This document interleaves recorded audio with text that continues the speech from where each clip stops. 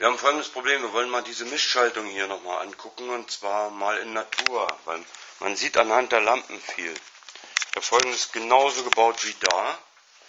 Ich habe hier eine Lampe, die habe ich hier an die Spannungsquelle angeschlossen und dazu parallel eine Mini-Reihenschaltung. Und jetzt sieht man anhand dieser Lampen, welche Spannungen anliegen. Hier liegt die volle Netzspannung, die volle Versorgungsspannung an. Deswegen leuchtet die Lampe auch so schön. Das sind 6 Volt. Und hier parallel dazu liegt eine weitere Lampe und noch eine Lampe in Reihe. Und die beiden, die scheinen sich ja, wie das in Reihe ist, auch wirklich die Spannung aufteilen zu müssen. Deswegen sind sie auch so dunkel. Kannst mal bitte so draufhalten, dass wir hier was sehen. Jetzt habe ich hier ein Spannungsmesser und möchte mal sehen, ob das stimmt. Ob das wahr ist. Moment. Ich messe folgendes. Hier messe ich. Da. 6 Volt. Einverstanden?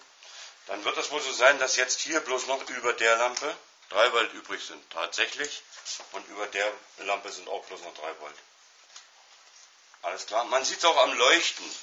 Besten Dank, Frau Kameraassistentin. Also, das ist nichts weiter als diese Schaltung da.